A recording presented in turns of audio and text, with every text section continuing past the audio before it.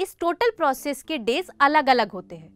कुछ लड़कियों के लिए ये 21 डेज़ का और कुछ लड़कियों के लिए ये 35 डेज़ का भी हो सकता है। अपने हेल्थ और अपनी जानकारी के लिए अपने साइकिल का ट्रैक रखना बहुत ज़रूरी है। आज हम बात करेंगे एक एवरेज मेंस्ट्रुअल साइकिल की, जो कि 28 दिन का होता है। पर ये कैसे करते हैं?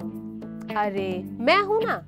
आपके मेंस्ट्रुअल साइकिल की स्टार्टिंग आपके पीरियड्स के पहले दिन से गिनी जाती है। और खत्म होती है आपके अगले पीरियड्स के होने के एक दिन पहले।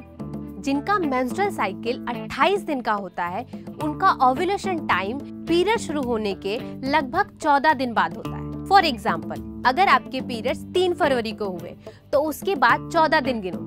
17 फरवरी, ये है आपकी ओव्यूलेशन की डेट